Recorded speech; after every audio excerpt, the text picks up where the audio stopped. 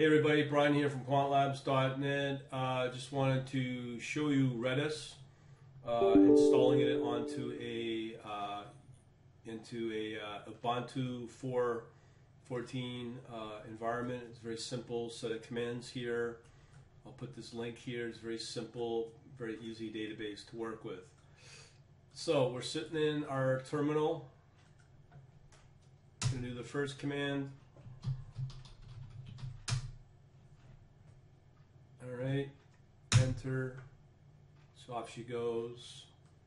Do an update here. This is now, I'm also installing Redis 3 Plus. That gives you the replication, um, which all this list here. You get the clustering, you get uh, some other cool stuff, I guess. So we'll leave it at that.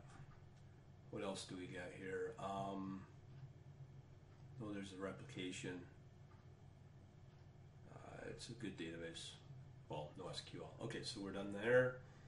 The update, and uh, now we're going to install the server. The apt get install Redis server, and uh, yes. Okay, I'm not sure where it gets installed, but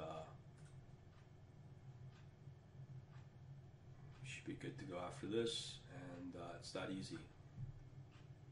Okay, so we just do Redis.